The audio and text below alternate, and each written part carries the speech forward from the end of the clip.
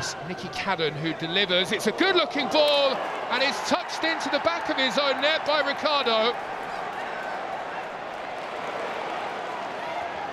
Bolton look for a swift response. Comes all the way through to Sadlier. Effort well smothered by Jack Walton. Kitching. Fabulous ball across field, touched on by Williams, and then on to Adam Phillips.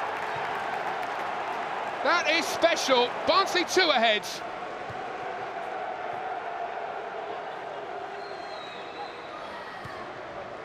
Beck finds room brilliantly on the right-hand side for Gethin Jones to deliver! And it's a lifeline for Bolton, Jon Dadi Bodvarsson.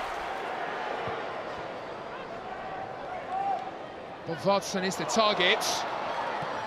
Lifted into the area for Bolton, looking for an equalising goal. Over the bar though, Kachunga sends it over the top.